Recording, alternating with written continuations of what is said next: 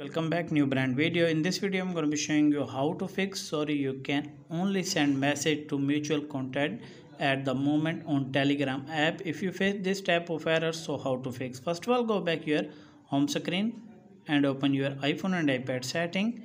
And from here click on wi-fi and make sure that connect strong wi-fi connection. Turn off wi-fi toggle at the third second you have. Turn it on. And after that go back if you use mobile data then turn on airplane mode at least the third scan you have turn it off.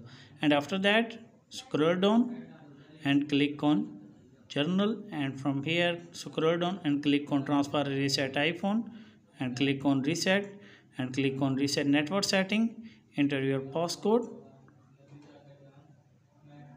And click on reset network setting. After reset network setting go back to your home screen and open again setting scroll down and click on general and from here click on iphone storage.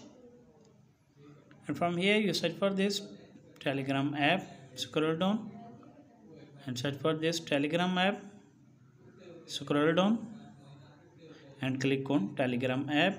And from here you offload your app. After a few minutes you have again install and after that check whether the problem had been fixed or not. If the problem not fixed then go for the last method open any one browser and from here you search for this telegram help.